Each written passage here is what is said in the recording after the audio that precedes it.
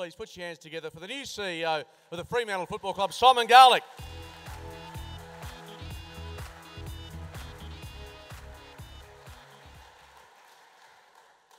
Um, the first decision of significance, Mark, was to that we don't wear a tie tonight. I think the 41 degree rule must have kicked in. Um, but thank you to Mark uh, for the welcome.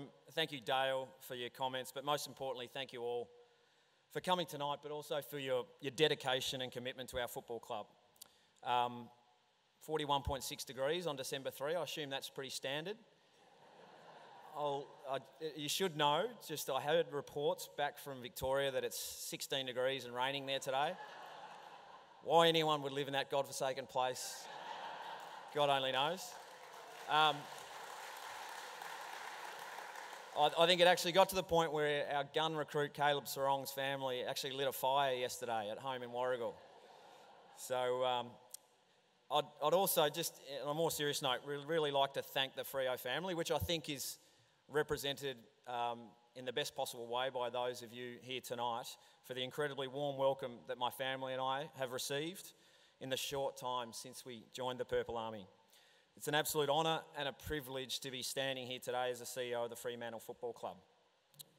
I mentioned on the day I was appointed um, to the role that during the process I'd started to understand the true significance of Fremantle as one of the most influential regions in the history of Australian football.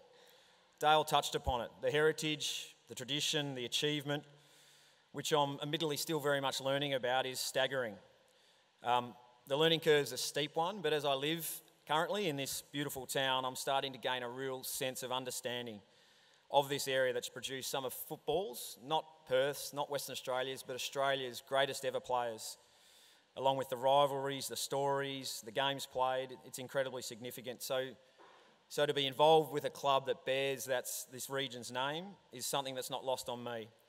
And I've loved being able to stop, given the fact that I'm living here at East Fremantle Oval and see the boys training there in recent times. Last Friday night, I jumped the fence and had a chat to an old teammate of mine who's actually coaching South Fremantle um, and get an understanding of the importance of football in this region for me is something that's really important. Um, like many in the room here today, I've spent the majority of my life in and around football in one form or another. My experience has been deep and varied, and I consider myself really fortunate to have been so closely attached to our great game. In considering the role, the first thing that really struck me about the club was the potential it had to be a significant player in the AFL landscape. Our membership and supporter base is as significant as it is passionate. And while currently Richmond set the, set the benchmark in terms of commercial, traditional commercial metrics of an AFL club with 103,000 members, average crowds of 61,000, TV ratings of 637,000 as an average. I think it's worth noting that in 2010 we had more members than Richmond Football Club and about the same average crowds.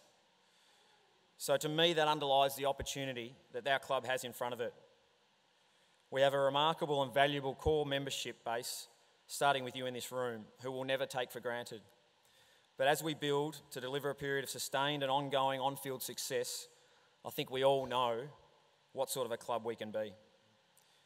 We've got a new training and administration facility that's the equal of any in the competition. We play in one of the most amazing stadiums in the world. We have a heartland and region that provides us with a history and heritage that our nearest neighbour cannot replicate. And as Dale mentioned, we will continue to drive our ongoing presence and relationship with this area in the manner, in the manner that it should be as our heartland and home. The other key driver of our success will be our people.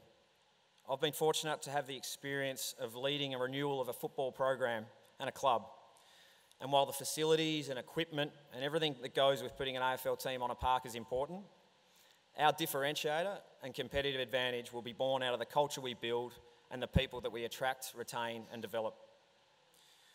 I've only been, thank you.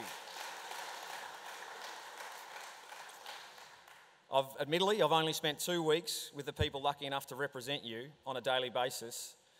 And whilst it's clearly still early, I'm incredibly excited about the calibre, character, and capability of our people and what we're going to be able to achieve together. The foundations have been laid, as Dale, as Dale outlined, by some great football people.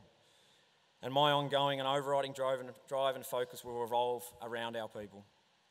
My background and experience has helped me see and understand the importance of continuing to build a team ethos and culture which will help deliver sustained success. And I can't wait to get to work as we set about realising the opportunity that's so clearly in front of us. I'd like to take this opportunity to thank Dale and the board for providing me with the honour to help lead this club. And it is help. It's not me out in the front alone, or Justin, or Peter as our football boss, or Dale as the chairman. This is a collective group as we look to grow into our next phase of success. I very much look forward to meeting you all and joining you on what I believe will be one hell of a ride. Go Freo.